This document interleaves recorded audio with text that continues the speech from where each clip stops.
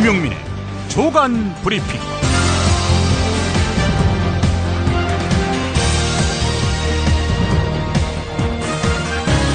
2016년 3월 8일 화요일입니다. 한미연합 군사훈련이 어제 시작됐습니다.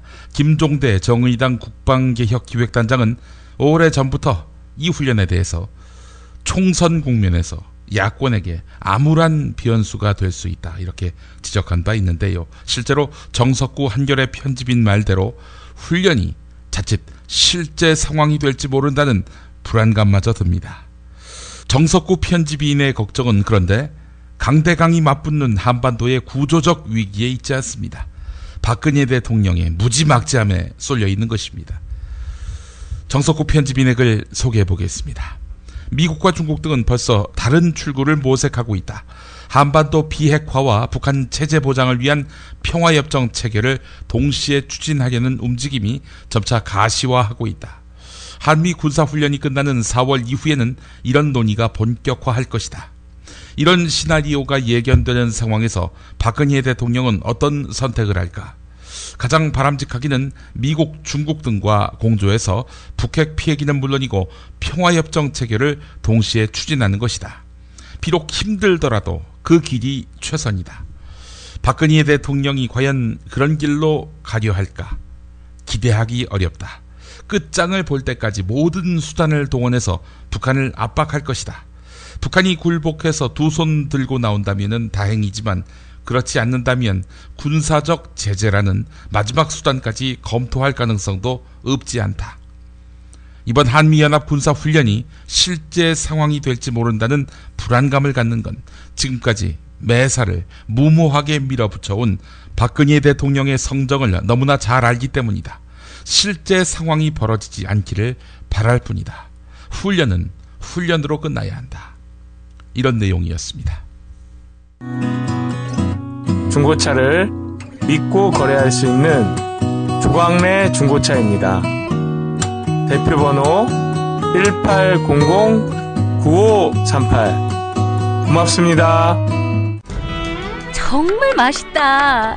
이 말 한마디면 모든 게 설명됩니다. 30년 전통 자연의 이로움을 담은 김치 이담채 김치 1544-4586 1544-4586 술자리 많은 요즘 3차까지 달린 당신을 위한 필수품. 전창걸의 새싹 땅콩차. 이제 속쓰림은 잊으세요. 070-8635-1288 070-8635-1288 수면 무호흡 심한 코골이 이제 걱정 마세요. 여행, 군생활, 찜질방에서도 확인된 코골이 방지기구. 코골이 119 1566-0783 1566-0783 조선일보부터 보겠습니다. 따옴표가 달린 새누리 상향식 공천은 끝났다가 제목입니다. 김무성 대표는 김태환 의원이 사실상 컷오프된 경북 구미을 공천 결과에 대해 이의를 제기한 바 있습니다. 현역 의원을 컷오프시키고 그 자리에 신인을 전략 공천한 것입니다.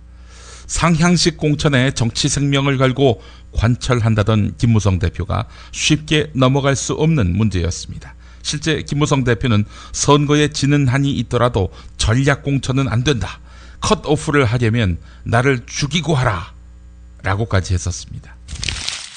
한국일보로 이어가겠습니다. 그래서 80분 동안 비공개 최고위원회가 열렸는데요. 이한구 공천관리위원장까지 불렀습니다. 결론은 어떻게 됐을까? 이한구의 승리였습니다. 전략 공천하기로 한 공천안을 수용한다는 것이었습니다. 구력의 김무성 대표. 결국 향후 공천관리위원회가 단수 추천, 우선 추천의 부작용을 고려해서 신중하게 결정해달라. 라고 기록으로만 남을 명분을 내세웠습니다. 비박계 일각에선 김무성 대표가 맥없이 물러난 것이 아니다.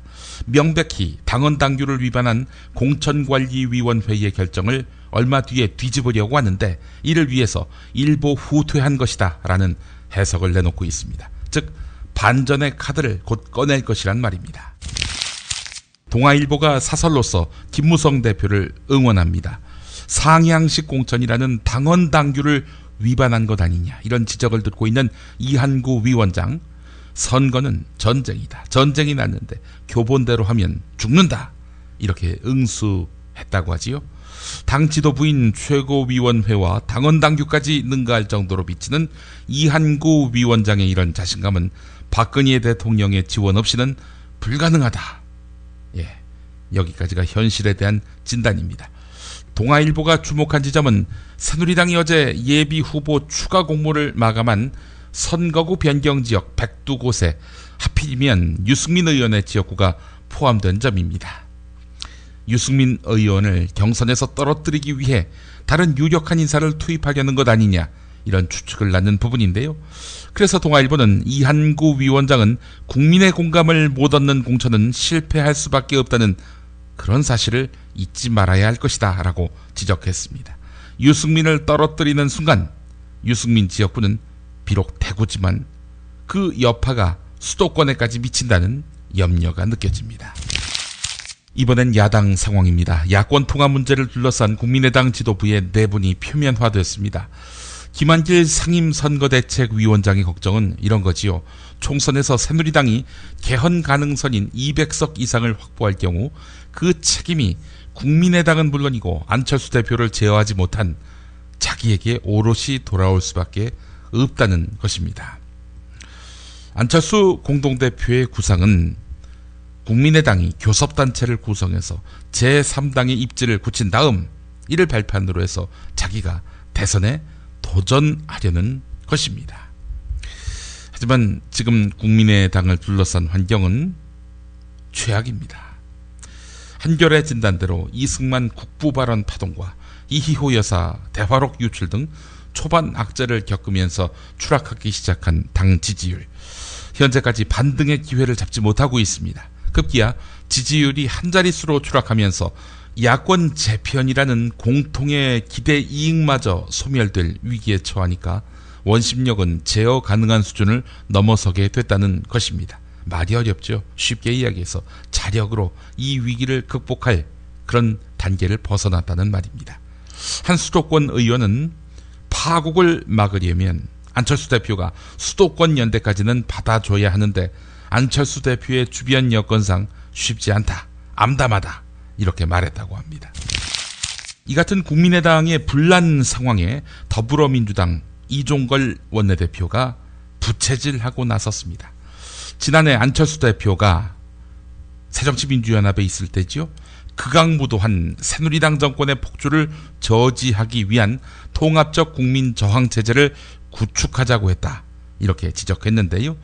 통합적 국민 저항 체제는 안철수 대표가 지난해 11월 당시 천정배 신당과의 야권 통합을 추진하자며 직접 제안한 것입니다.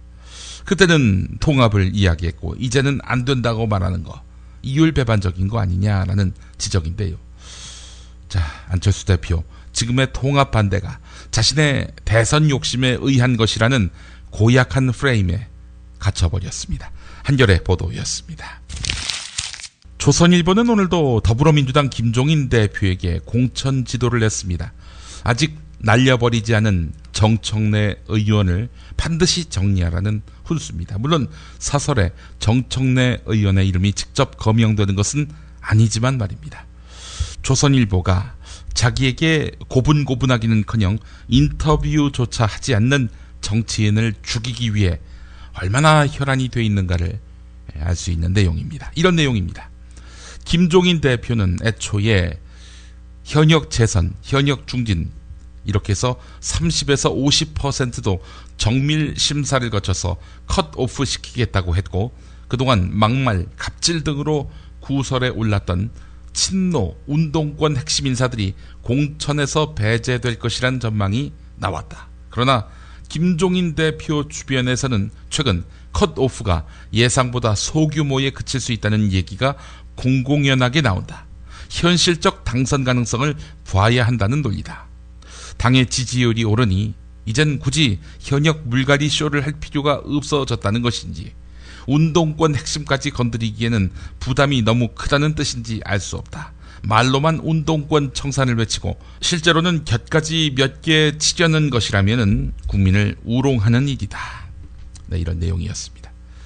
정청래 의원은 김무성, 안철수 누구라도 와라 올킬 시켜주겠다라면서 자신감을 표했지요. 그만큼 지역구 기반이 탄탄하다는 설명입니다.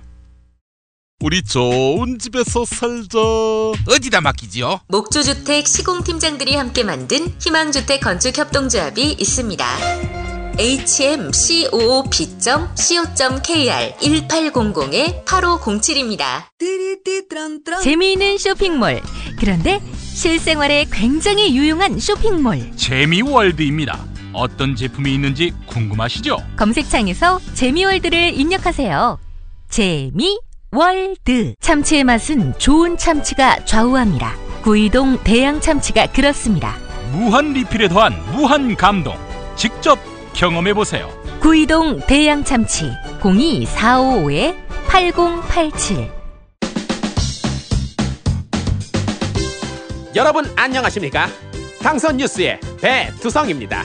이번 선거를 맞이하여 당선 로고송닷컴에서는 업계 최초로 후불제 로고송 제작을 선언하였습니다. 하하, 후불제라 정말 파격적인데요. 자세한 내용은 당선 로고송닷컴을 확인해 보세요. 이상 배두성이었습니다. 마하!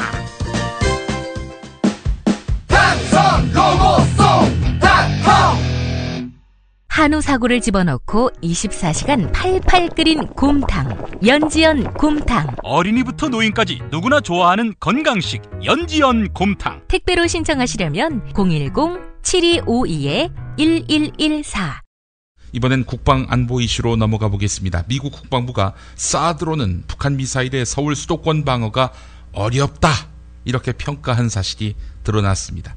1999년 평가 분석이지만 사드의 요격 고도 등 기본 성능과 개념은 현재와 큰 차이가 없기 때문에 최근 한미 사이에 추진되고 있는 사드 배치의 군사적 효용성에 의구심이 제기되고 있습니다. 한겨레 기사였습니다. 중앙일보 일면 기사도 보겠습니다. 앞으로 해외에 있는 북한 식당 출입이 제한됩니다. 정부는 524 조치를 대폭 강화하는 내용을 담은 독자적인 북한을 상대로 한 제재안을 오늘 낮에 발표할 예정입니다. 정부 당국자 한 사람이 이런 말을 했네요. 우리 국민이 해외에서 북한 식당에 가는 것을 막기 위한 조치를 독자 제재안에 담을 예정이다. 북한 식당에서 쓰는 돈도 북한 정부로 흘러 들어가는 자금줄 가운데 하나기 때문이다. 이렇게 말했다고 합니다. 서울의 명문 사립대 대학원생이 같은 학교 후배를 3년에 걸쳐서 폭행하고 가혹 행위를 한 모양입니다. 검찰이 수사에 들어갔는데요.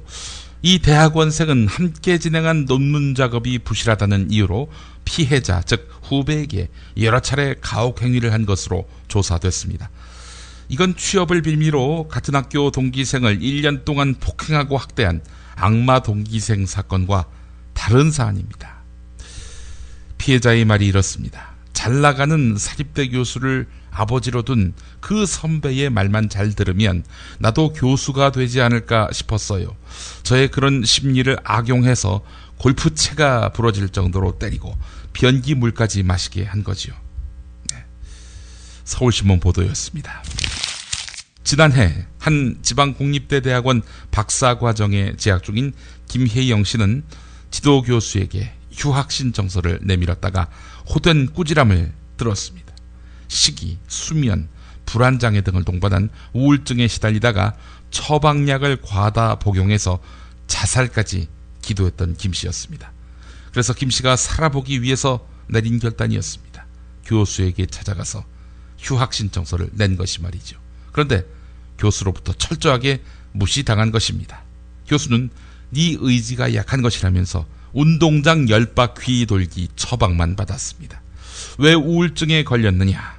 김 씨는 성추행을 당하고 인신공격을 당하고 그럼에도 불구하고 네가 못 났는데 어쩌냐는 식의 취급을 받아서였습니다.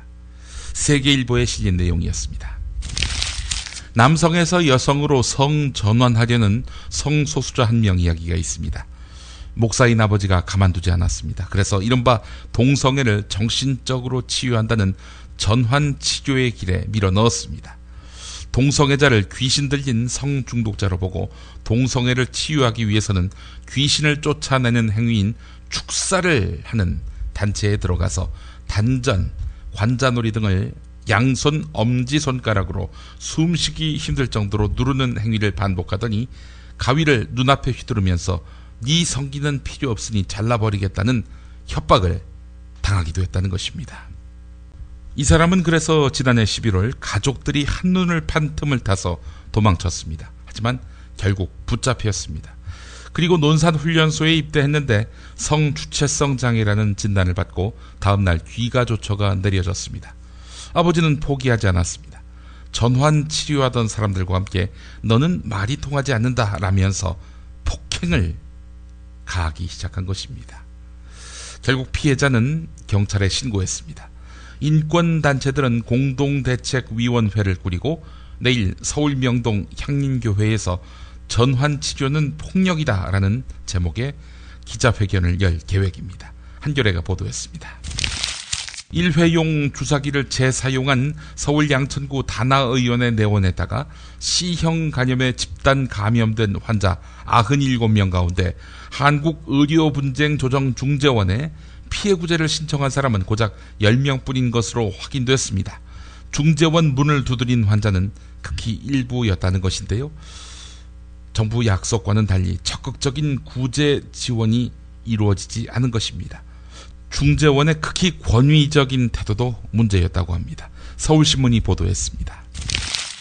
전국 대부분의 지방자치단체가 저출산 극복을 위해 시행하고 있는 출산장려금 지원 정책이 단체장 홍보용으로 전락했습니다. 최대 2천만 원까지 지급하는데 2012년도부터 출산장려금을 지급해온 전남 나주시는 지난해에만 25억 원의 예산을 투입한 대표적인 지방자치단체입니다.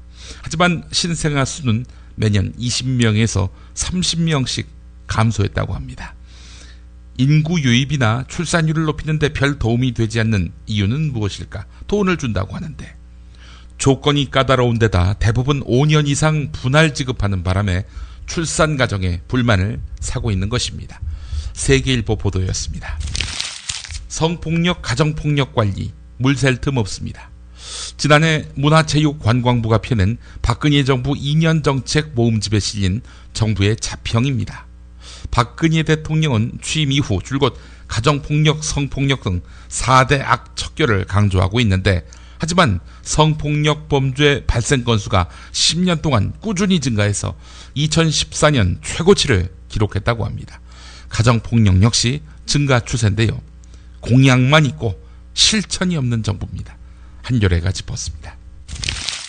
이런 통계도 있습니다. 3살에서 5살 자녀를 가진 한국 여성의 고용률이 OECD 국가 가운데 꼴찌인 것으로 나타났다는 것입니다. 만 0세에서 2살까지의 자녀를 둔 한국 여성의 고용률도 32.4%로 25위에 그쳤습니다. 뒤에서 3등이란 얘기죠. 만 3살에서 5살까지의 자녀를 둔 여성의 고용률은 27개국 가운데 27위였습니다. 35.8%였는데요. 덴마크나 핀란드 같은 나라는 70% 정도입니다.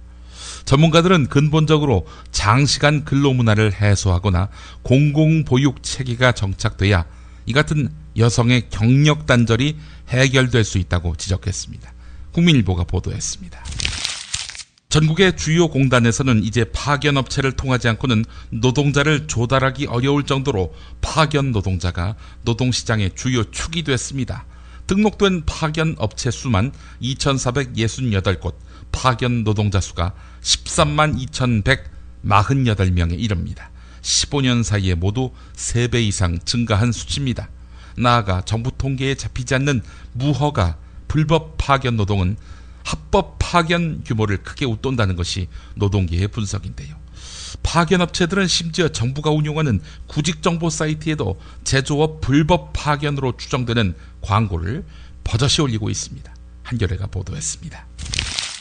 2013년 말 서울 시내에서 아파트 전세 계약을 맺은 가구가 2년 동안의 계약 기간이 끝난 뒤 같은 구에서 아파트 준전세 계약을 맺을 경우 전보다 1억 3,354만 원을 더 부담해야 하는 것으로 나타났습니다. 2년 뒤 전세 계약을 새로 맺을 때보다 8,653만 원 더 많은 금액입니다. 전세난으로 늘어난 준전세가 세입자의 부담을 크게 가중시키고 있다는 것인데요. 한국도시연구소와 국회 국토교통위원회 더불어민주당 김상희 의원실의 통계치입니다. 경향신문이 보도했습니다. 건강보험공단 직원 A씨, 노래방에서 알게 된 여종업원 B씨의 연락처를 찾으려고 건강보험 가입자 정보를 멋대로 찾아보았습니다. 검색에 실패하니까 이 여종업원의 딸과 전 남편의 개인 정보까지 무단 열람했습니다. 건보공단은 지금까지 이런 직원들에게 자체 징계를 내렸는데 뭐 아무래도 손방망이 처벌이었겠지요. 22명 가운데 파면, 해임된 사람은 불과 3명에 그친다고 합니다. 그러나 앞으로 최고 5년 이하의 징역이나 5천만 원 이하의 벌금에 처해진다고 합니다. 국민일보가 보도했는데요. 하지만 개인정보 털리지 않을까 이 불안은 여전합니다. 국회에서 테러 방지법이 통과된 이후 더욱 그러한데요. 카톡 사찰에 대한 우려와 관련해 그동안 기업의 입장을 쭉 대변해온 중앙일보는 카카오톡에 대한 감청이 무제한적으로 이루어지는 것이 아니라면서 야당이 제기한 걱정에 대해 상당 부분 거품이 끼었다고 주장하고 있습니다. 그러나 예외적으로 누구나 언제든지 털 수 있는 그러한 부칙이 있다는 점과 국정원이 그간 제도와 법의 테두리 안에서만 활동한 것이 아니고 적발됐어도 별다른 타격을 입지 않았다는 점에서 국민은 이 같은 중앙일보의 설명이 미덥지 않습니다. 그래서 반사 이익은 텔레그램이 보고 있습니다. 테러 방지법 제정 이후 8만이 몰려가서 텔레그램을 다운받았다고 하는군요. 김용민이 전해드리는 조간 브리핑. 이른 아침 조간 신문 핵심 기사를 훑어보는 시간 김용민의 조간 브리핑 월요일부터 토요일까지 매일 오전 7시대에 업데이트됩니다. 뉴스뿐 아니라 그 안에 숨은 맥락도 짚어드립니다.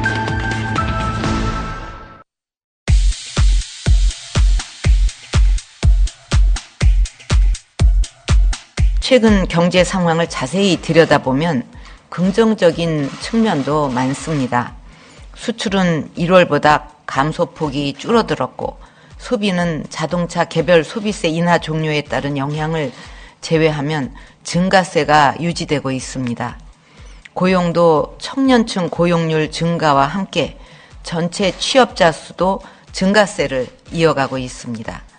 대외 여건이 매우 어려운 가운데서도 이만큼 하고 있는 것은 당초 소비 절벽이나 고용 절벽을 걱정했던 것만큼 나쁘지는 않은 수준입니다. 앞으로 자동차 개별 소비세 연장, 재정 조기 집행 등의 정책 효과가 본격화되면 경기 개선세가 지속될 것으로 전망이 됩니다. 난데없이 갑자기 때 아니게 뜬금없이 경제 전망을 밝게 보는 박근혜 대통령. 불과 한 두 달 전에는 안 그랬는데 사전에 구조조정을 안 하면 업종 전체적으로 큰 위기에 빠지게 되고 그것은 대량 실업으로 이어질 수밖에 없습니다. 악재들을 이겨내기 위한 대비를 제대로 할 수 있을지, 일자리 창출이 제대로 될 수 있을지 요즘은 걱정으로 제대로 잠을 이루지 못하고 있습니다. 저도 편안하고 쉽게 대통령의 길을 갈 수도 있습니다. 그러나 이러한 것을 방치하고 갈 수 없다는 생각에 연일 애끓는 호소를 하고 있는 것입니다. 왜 갑자기 경제 전망을 밝게 볼까? 정말 경제가 좋아진 것일까? 천만에 경제가 나빠졌다고 생각한다는 응답은 60.8%로 조사돼 정부 여당에 대한 심판 여론은 언제든 확산할 수 있습니다. 박근혜 정부 3년 동안 GDP 성장률은 2.9%에 그쳤고 수출 규모는 물론 고용, 소득 등 생활비를 종합한 민생 지수도 98.3으로 100을 넘겼던 지난 정부에 비해 더 나빠졌습니다. 김종인 체제 들어 경제를 부쩍 강조한 더불어민주당은 박근혜 정부의 경제 심판을 앞세웠습니다. 지난 3년 동안 현 정부는 160조 이상의 국가 부채를 지니고 있습니다. 전체적으로 우리나라가 하나의 부채 공화국이 되고 박근혜 정부의 경제 실정을 비판하며 중산층 비중과 소득 분배율, 가계소득 비중을 모두 70%로 높이는 일명 3-7 플랜을 총선 공약의 전면에 내세운 것도 같은 맥락으로 해석됩니다. 아무래도 야당이 경제 위기를 선거에 이용해서 정권 심판론에 불을 붙일까 염려된 터. 박근혜 대통령은 이런 말도 덧붙이는데 긍정의 힘. 경제 불안 심리가 필요 이상으로 확대되어서도 안 된다고 생각합니다. 투자와 소비 심리가 지나치게 위축이 되면 정상적인 경제에도 악영향을 미칠 수 있는 만큼 국민들께 자신감과 희망을 줄 수 있도록 경제 활성화 대책에 전력하고 국민과의 소통 노력도 강화해 주기를 바랍니다.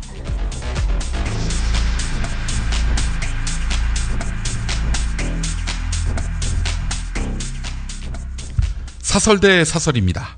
박근혜 대통령이 수석비서관 회의에서 대외 여건이 어려운 가운데도 경제 상황이 당초 소비 절벽이나 고용 절벽을 걱정했던 것만큼 나쁘지는 않은 수준이라고 느닷없이 경제 낙관론을 편점에 대해서입니다.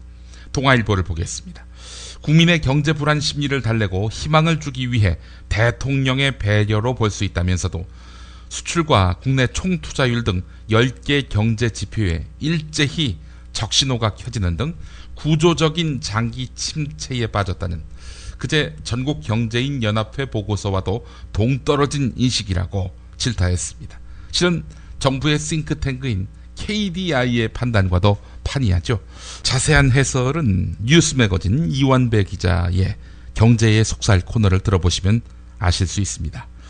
동아일보는 불과 두 달도 안 돼서 대통령의 경제 인식이 위기에서 낙관으로 맥락 없이 바뀐 이유가 총선에서의 경제 심판론을 피하기 위한 것이라면 위험하다라면서 경제 상황과 정책을 놓고 대통령과 야당이 서로 상대 탓만 하면서 국민을 골병들게 해서도 안 될 일이라면서 그리 문제 삼을 일이 없어 보이는 야당까지 끌어들여서 훈계했습니다. 한결에는 어떨까요? 박근혜 대통령의 경제 상황 인식이 너무 아니할 뿐더러 도대체 우리 경제가 맞닥뜨린 어려움을 이해하고나 있는지 심히 걱정스러울 정도라고 혹평했습니다. 그러면서 경제 활동의 핵심 축이라 할 수 있는 생산과 소비, 투자는 물론 이연이와 수출과 고용 등 어느 것 하나 긍정적인 신호라곤 찾아보기 힘들다. 무엇보다도 가계의 소득이 사실상 제자리 걸음을 하다 보니 사람들은 도무지 소비 지출을 늘리려 하지 않는다. 이미 1200조를 훌쩍 넘긴 가계 부채는 소비 여력을 짓누르고 있다. 반짝 효과를 노린 단기 처방으로는 현재의 침체 국면에서 단기간에 벗어나기 힘든 구조라는 뜻이다. 라고 분석했습니다. 그러면서 낡아 빠진 구조개혁 레파토리나 읊조리는 것도 모자라 경기 판단마저 제멋대로 오락가락하는 정부를 어떻게 신뢰할 수 있을까라고 질타했습니다. 선거철 야당의 경제 책임론, 경제 심판론에 맞서기 위한 거라고 하지만 공감할 수 없는 말을 늘어놓으면 부메랑이 되지 않겠습니까? 오늘 김용민의 조간 브리핑은 손호철 서강대 교수의 경향신문 기고문 안철수 대표님께를 전해드리면서 마무리하려고 합니다. 당신의 독자 노선이 오는 총선에서 양당 체제를 깰 것이라는 주장은 맞습니다. 하지만 이를 대신할 것은 3당 경쟁 체제가 아닙니다. 그것은 야권 분열로 새누리당이 압도적 의석을 차지하는 잘못하면 새누리당이 개헌 의석을 차지하는 새누리당 일당 지배 체제가 될 것입니다. 그것이 당신이 바라는 것입니까? 양당제라고는 하지만 현재는 새누리당 55에 더민주 45에 기울어진 양당 체제입니다.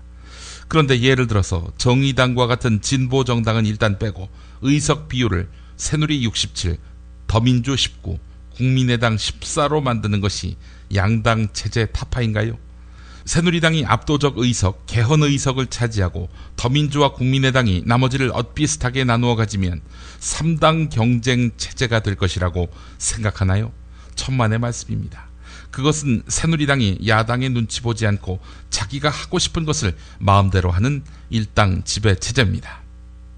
당신은 더민주의 연대 제의도 거절하면서 이는 기득권 양당 체제를 깨기 위해서라고 설명했습니다. 그러나 당신이 바로 기득권 양당 체제라고 비판한 새누리당은 기이하게도 더불어민주당의 연대 제의를 맹 비판하고 당신의 독자 노선에 박수를 치고 있습니다. 왜 그런다고 생각하십니까? 바로 거기에 답이 있습니다. 다시 한번 강조하지만 당신의 독자 노선 결과는 3당 경쟁 체제가 아니라 새누리당의 1당 지배 체제입니다. 한 가지 더 지적하고자 합니다. 기득권 양당 체제를 깨려면 이념적 거리가 얼마 되지 않는 새누리당과 더불어민주당 사이를 비집고 들어가서 경제는 더불어민주당, 안보는 새누리당과 같은 짬뽕형 제3당을 만드는 방식을 택해서는 안 됩니다. 오히려 정의당, 노동당과 같은 진보 정당들을 오히려 정의당, 노동당과 같은 진보 정당들을 강화해서 진정한 다당제로 나가야 합니다. 그래야 진정한 정책 경쟁이 가능합니다. 이런 내용이었습니다. 조간 브리핑 마치겠습니다.